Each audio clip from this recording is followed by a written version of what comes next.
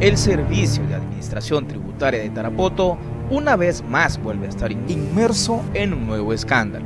La existencia de unos audios grabados desde un celular demostraría la forma como el actual jefe de esa entidad recaudadora de tributos municipales, Quinto del Águila Chávez, pretendería inculpar al ex asistente de contabilidad y finanzas, Betel Florescanta, de faltas e incumplimiento y negligencia laboral que el despedido trabajador asegura nunca habría cometido.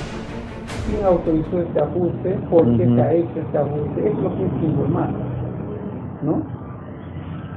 Es lo que es informar. ¿Por qué hay ajustes, ajustes, ajustes? No supiera yo darle, darle una lógica, sinceramente. Tú, solamente tú tienes que dar, nadie más. Mm, es, sí, como le, bueno, yo no, no, no lo he hecho esta operación. ¿Quién ha hecho No, por eso yo le vuelvo a decir. No, pero este haciendo quién ha hecho esto, como le vuelvo a decir, como le vuelvo a decir, hice la pregunta en su momento y no me dieron respuesta, simplemente me dijeron concéntrate, así como ahorita, a tu banco, nada más, concéntrate en eso. ¿Qué voy a hacer? Ah, tú tienes que explicar por qué hecho Es que yo no lo he hecho. Le, estoy diciendo, le vuelvo a reiterar yo lo observé, le dije, ¿por qué hay unos asientos más arriba? Eso ha sido de enero, eso ha sido de febrero, no sé, de diciembre. Hoy día quieren eso. Ya. Eso quiero que me informe. Bueno, eso es bueno, este, lo único que voy a decir es que... ¿Qué está motivado? No, es que usted me está haciendo como si a mí me hubiera motivado, no es así. ¿Y entonces por qué lo has hecho? No, vuelvo a decir, me está usted diciendo que algo como yo lo hubiera hecho. Yo le estoy informando lo que así como... Ya, informan entonces, pero escrito, este asiento contable de ajuste.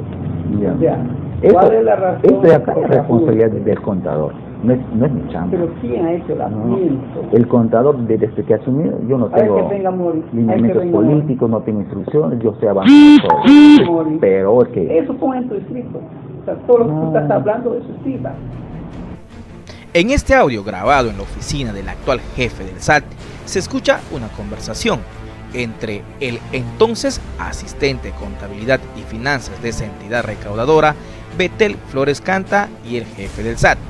Este último, es decir, Quinto del Águila Chávez, le pide a Betel Flores Canta presente un informe para sustentar una presunta omisión de sus funciones, al no supuestamente verificar ni analizar la documentación que sustente las cuentas contables y el registro de las provisiones contables respecto a unos registros de comprobantes diarios de una cuenta que el despedido servidor público afirma nunca haber tenido bajo su responsabilidad.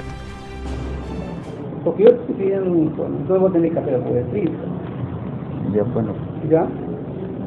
Ese es el tema yo quiero saber yo le voy a contar igual igual por el informe igual de lo que yo yo sé hasta ahí nada más. Y yo solamente sé que aquí hay un asiento acá hay otro asiento y sobre esos asientos quiero que, que me explique por qué se realiza no no voy a poder explicar porque no lo he hecho no no le encuentro ni lógica yo. pues, por eso leo.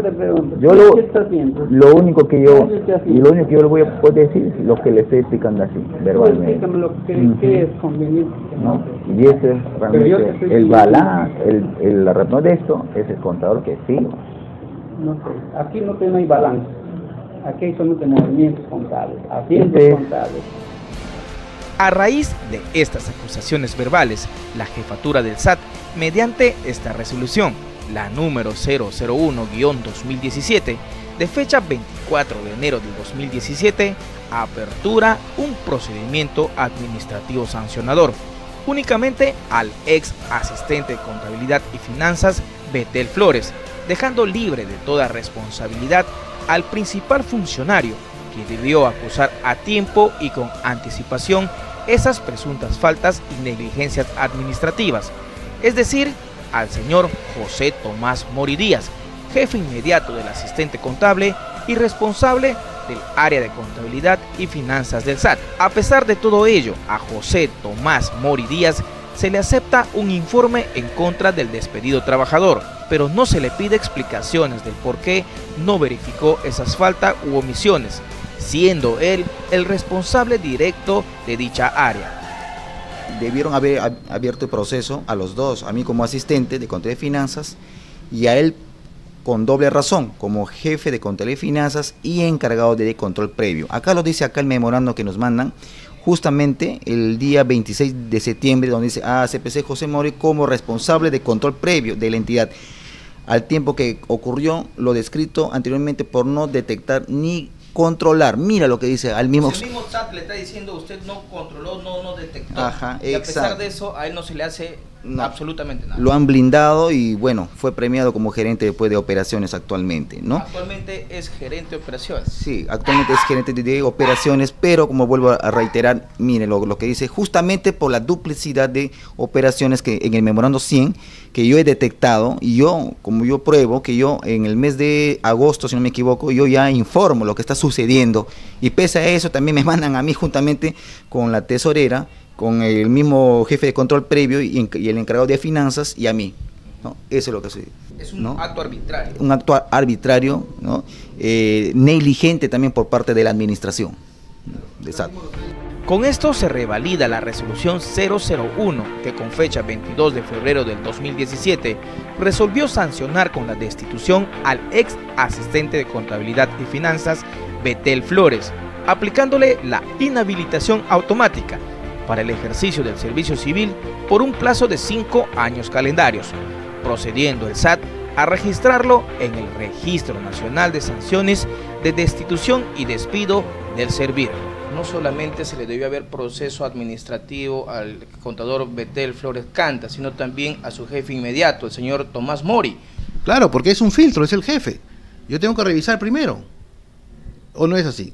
Entonces yo como jefe tengo que supervisar, por eso soy jefe. Entonces, ¿por qué a él no lo investigan también? ¿Por qué no le hacen un proceso para investigar de dónde está viniendo eso?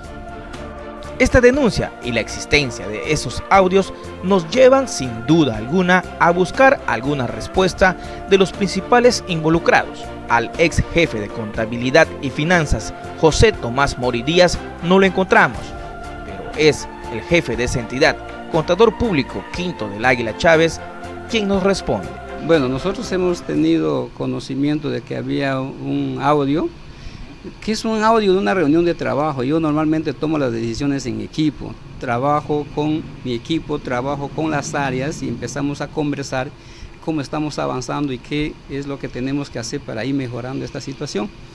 Entonces, supongo que su hábito o es su costumbre grabar.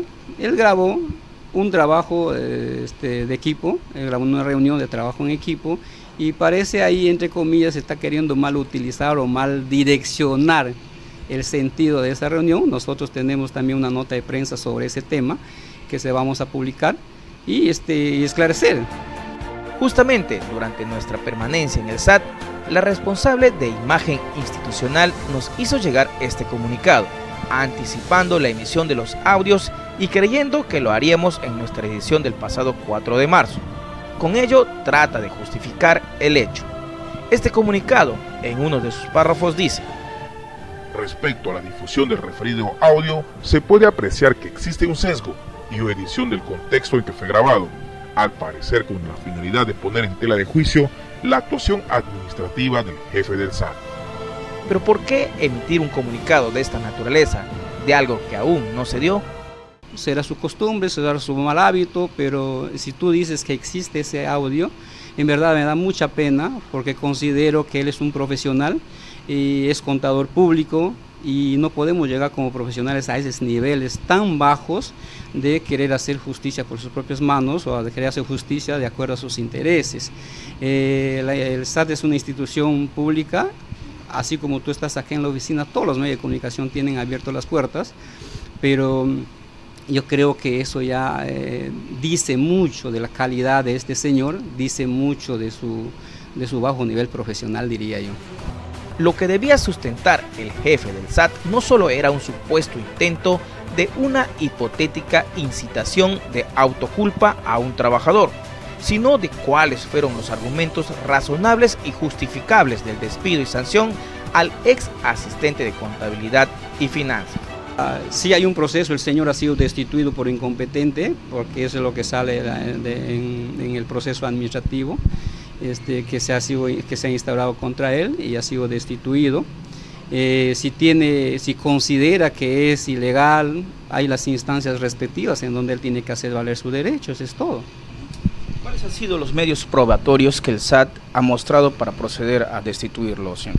Bueno, los medios probatorios están en el expediente, ¿correcto? Entonces, sobre ese eh, expediente, seguramente su abogado hará valer su derecho y, y, será pues tratado en las instancias que corresponden. No, no creo que un caso tan personal y nosotros no tenemos la costumbre ni el hábito de mm, hacer público eh, un caso interno de un trabajador, pero si él lo está haciendo, pues es un problema de él. El criterio que se ha tomado aquí solamente es una denuncia que ha efectuado el contador, en este caso el jefe, ¿no?